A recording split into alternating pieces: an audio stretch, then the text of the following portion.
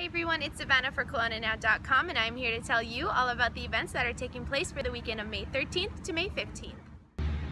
Mud, Sweat and Tears 2016 takes place this Saturday at Ponderosa Living in Peachland from 8 a.m. until early afternoon. It is too late to register, but you can still come by and cheer on the participants. There will also be a barbecue and food trucks on site.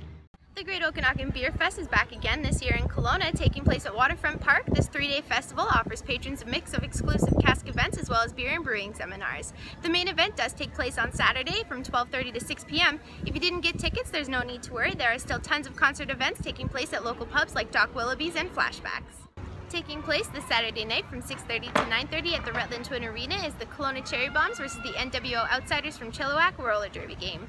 Tickets are $10 at the door and children under 10 get in free. This is a new and exciting event for you and your family to take in. Taking place this Sunday from 2 to 4 p.m. at Mission Creek Park is the first annual Family Fun Day put on by the Monkey Crew against DIPG. The event is put on in order to honor Savannah Burke Simmons who had sadly lost her battle against DIPG. Children are encouraged to participate for a chance to win some prizes, play in the bouncy castles, as well as get their face painted. They can also bring their favorite stuffed animals in order to honor Savannah. If you'd like to learn more about Savannah's story, you can look on our website, KelownaNow.com. For KelownaNow.com, I'm Savannah Bagshaw. If you didn't know what events were taking place in Kelowna this weekend, now you know. If you would like the Now You Know Cruiser, sponsored by Orchard Ford and Chances to be at your next event, you can email us at events at KelownaNow.com.